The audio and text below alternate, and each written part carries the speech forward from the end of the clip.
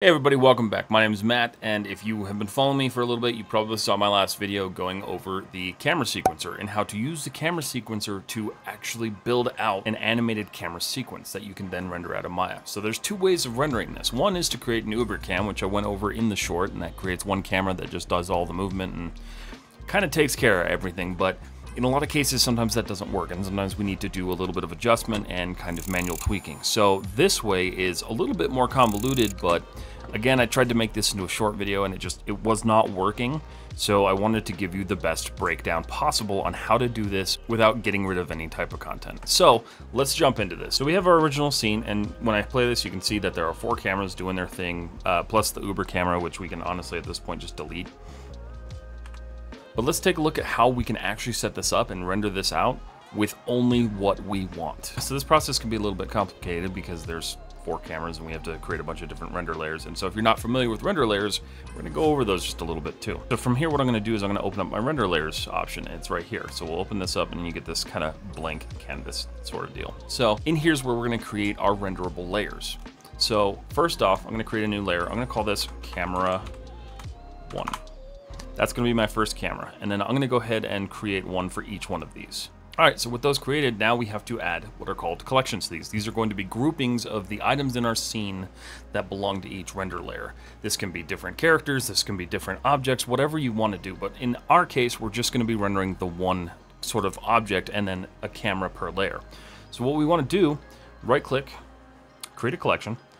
Then in our outliner, we're going to go and select everything we want, which is going to be camera one, the plane, the sphere, and if we have one, a light. In fact, let's create a light real quick. Just drag this up here.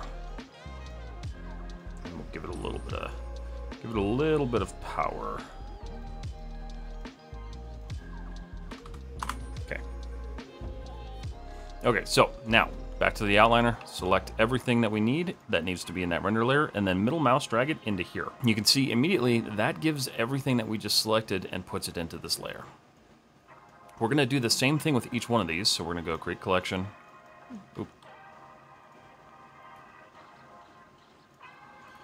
Create collection, create collection, and you can name your collections too if you need to, but uh, for this purpose I'm not going to.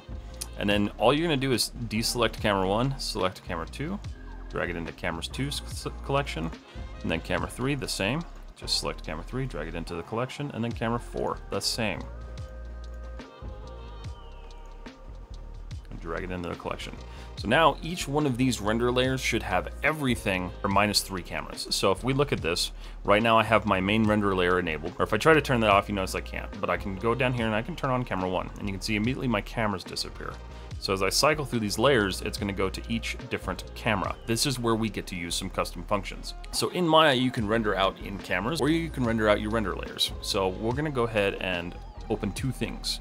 First, we're gonna go to Windows, Animation Editors, Camera Sequencer. This camera sequencer is important because earlier in the short video that I did, we covered all of the creating of these shots. So each one of these shots is based off of a different camera with different frames. And this is going to be important because this is what we're going to use to set up our frame ranges.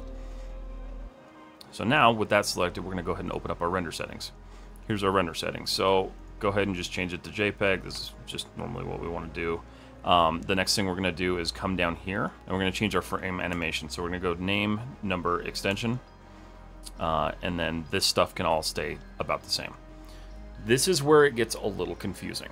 So we're going to have to set up what are called overrides. These overrides are going to basically lock down each layer to do a specific job. So we're already on render layer camera one. So what I'm going to do is I'm going to go to my start frame. My start frame starts at zero, so I'm going to do just one for sake, and then 15. If you need to start at zero, you can start at 50, or zero. Down here, we have our renderable camera. We're gonna change this to camera one. That needs to stay that way. So now we're gonna create our override. So in here, we're gonna go start frame, create an absolute override. And then we're gonna do the same thing for our end frame, and we're gonna do the same thing for our renderable camera. This is really important because this is how Maya is going to know what to actually reference and what to use. So I can kind of minimize layer one, but you can see all this different stuff that that did. We're not going to tweak any of this because we don't really have to. And then we're gonna go to our next render layer. So up here, we're gonna go render layer, camera two.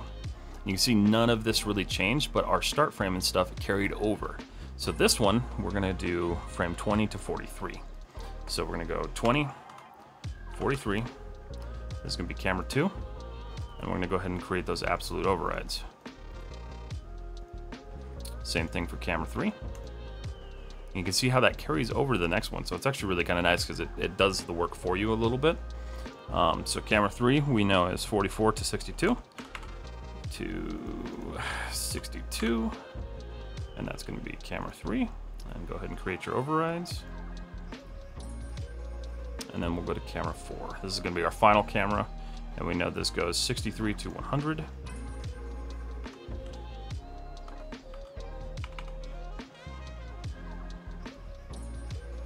And camera four. Go ahead and create those low, those overrides. Okay, that's what we got to do. That's it. That's kind of the setup for this. So now what we can do is make sure that we have a folder set up. So I'm going to be rendering to this test folder on my desktop. It's currently empty. We're going to go to render, render sequence, hit this. And then from here, we have two options that we need to have selected. All render enabled layers and all render enabled cameras. This is going to make sure that it renders everything that's available. By selecting this first box, this is going to override using each camera that's selected and use each layer that's selected. So this is going to pick every single layer that we have that's currently active. And what we can do in here is we can go to our render layers. So you can see we have all of our layers set up. These are currently renderable. Let's turn off this one. We don't need that. That's kind of our base render layer. We just want these four enabled. And so now if I go here, and I hit desktop, test, hit select, and hit render sequence, we can watch this start to spit out our results. So you can see that it already creates a camera folder or a folder for camera one. And it's gonna do the same for each and every camera. And I'll skip ahead just to save you some time, but this is what it's gonna look like. Okay, so now that that's done rendering, we can actually open up our folder again. We can go into camera one, and you can see that we rendered out one through 15, just like we had it configured. Go to camera two, same kind of situation here. So whatever you set in your render layer is going to be output by the renderer. So this is really cool because what this does is instead of rendering every single camera where you render a bunch of unnecessary frames and you take way too much time to do so, you now have full control over how to render out what specified frames were animated, and then you can ignore the rest. So in cases where you don't need the rest of that information, you can totally just do this and save yourself a ton of rendering time. So, so again, I tried to compress all of this information into one small video and it just, it, it wasn't working. So I appreciate you if you did come over from either Instagram, TikTok, whatever it was to watch this video. Thank you so much. Um, and if you're new to the channel, welcome to the channel, and I will see you guys all in the next video.